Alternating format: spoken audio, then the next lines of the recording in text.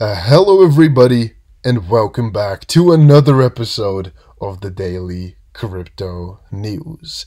And yes, guys, we are still giving away 500 XRP, the first video that we hit a thousand likes within 24 hours. If you want to enter, all you have to do is make sure you press the like button, make sure you are subscribed, and make sure you comment something down below. If you've done that, you're automatically entered, and you'll hear if you want tomorrow so uh, stay tuned and watch these videos, guys.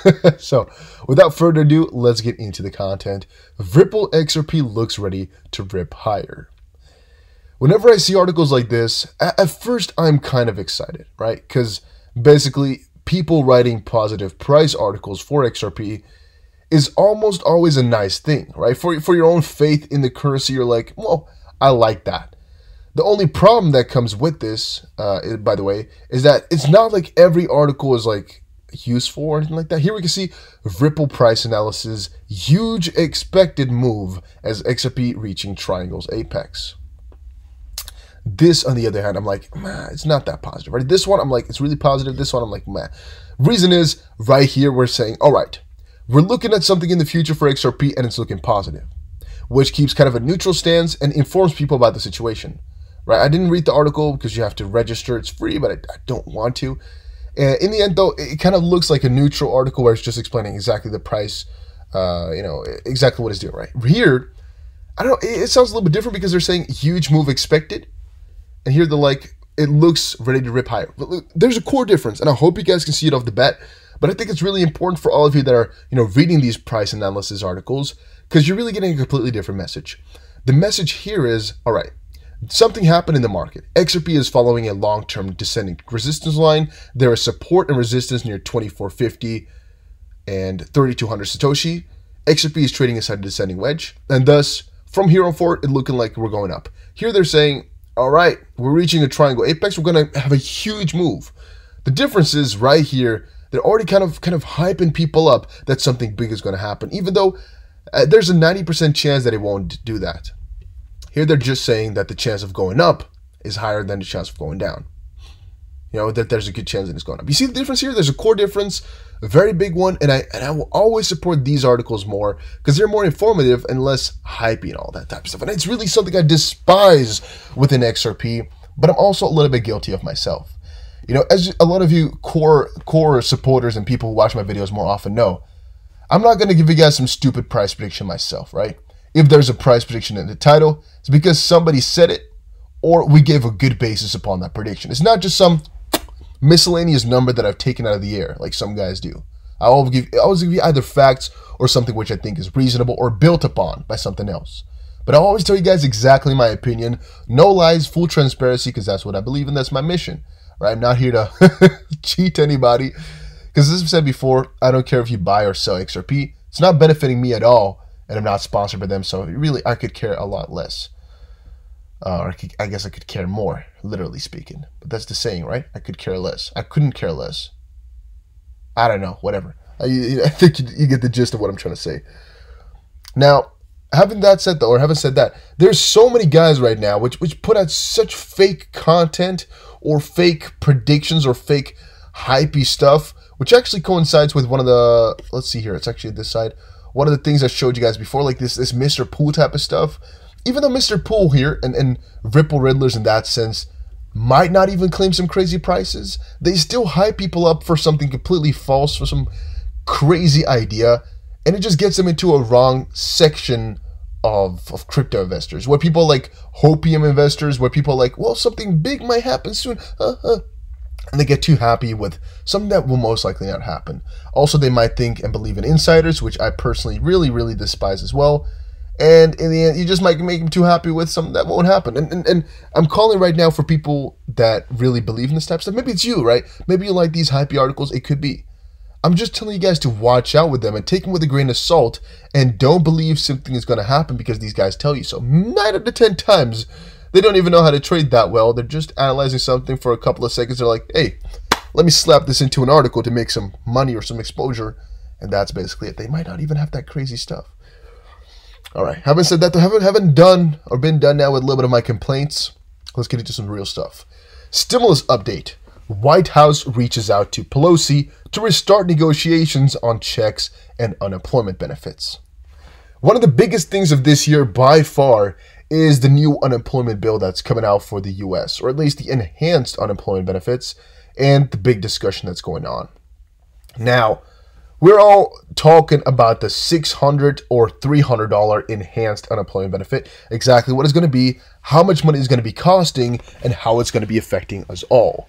Because as I've said before, I think XRP will come out as a winner from whatever stimulus they can throw at people.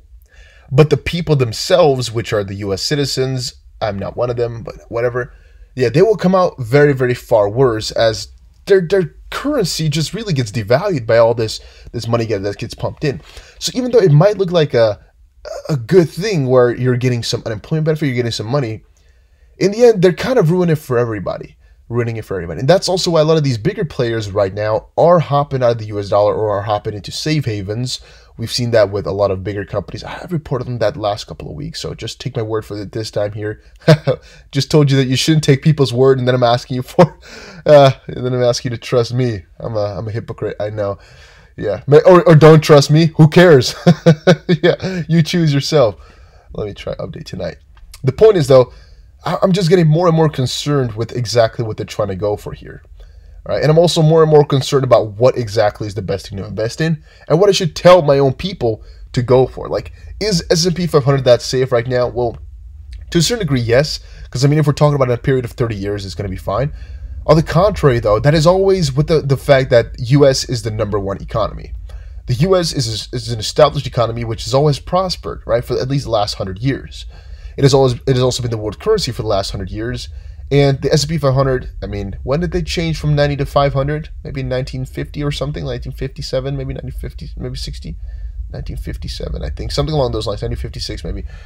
They changed to like 100 stocks instead of only 90.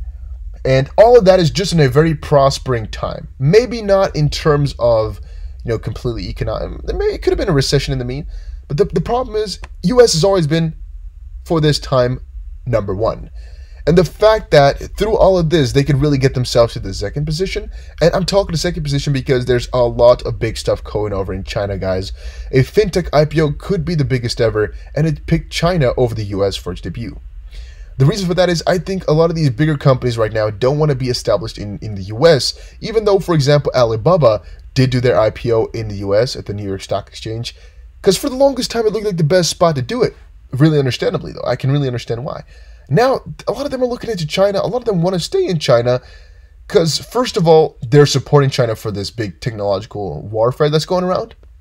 But also, there might be trade restrictions coming up, bigger ones. There might be trade restrictions uh, that, that get even more established, right? There might be some bigger debate going on. It might unfold even further. It might even be that you know, I guess the U.S. is going to lead further, and all the Chinese, most likely, this is just an assumption. I don't have inside info. They want to help their own country by staying on top of this game, by having people from the US put money into China instead of theoretically speaking, people taking over money to the New York Stock Exchange to fund it, right? They want to take it all over into China to those uh, exchanges over there. And even though I think it's a it's kind of a good thing, it's also kind of a bad thing. The good part about it is, you know, these things which are you know China based are doing it over in China which means you know it's a little bit more difficult to send your money to China than to support that company. On the contrary, you're taking away some activity from an exchange in the U.S., which is then again bad for for business. Also, you know all the money is going into China right now, and maybe if they did an IPO in New York, they would also have an office in New York, maybe another venture in New York, which might put in money for you know for the government there in that little part.